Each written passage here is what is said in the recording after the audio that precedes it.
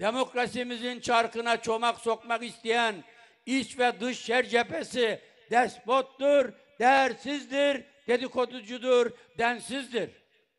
14 Mayıs'ta devrilmeleri kaçınılmaz bir siyaset ve milli irade gerçeği olacaktır. Türkiye'ye ayar verilemez. Türkiye'ye istikamet gösterilemez. Türkiye kafa kola alınacak, taviz ve teslimiyet anaforuna çekilecek bir ülke olamaz.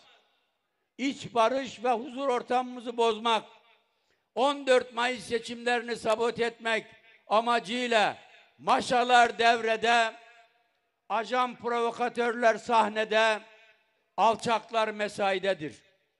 7 Mayıs 2023 tarihinde Erzurum'da yaşanan ve Trabzon kültüründen, Trabzon'un mayasından, Trabzon'un asaletinden nasibini almamış bir şahsın neden olduğu olaylar bayağı bir provokasyondur.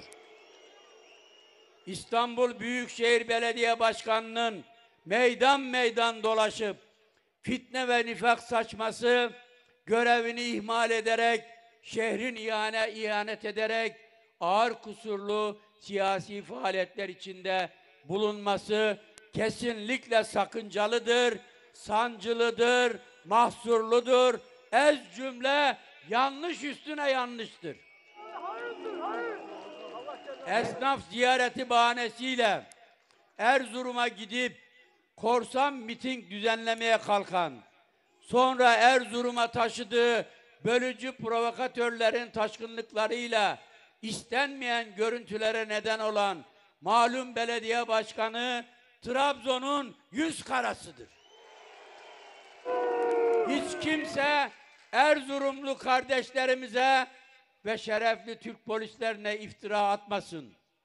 Hiç kimse vatansever ve milletsever yürekleri suçlamaya kalkışmasın. Erzurum'da çok tehlikeli bir provokasyon testi yapılmış ve nihayetinde ve doğal olarak aklı selim galip gelerek kaos provası ters tepmiştir.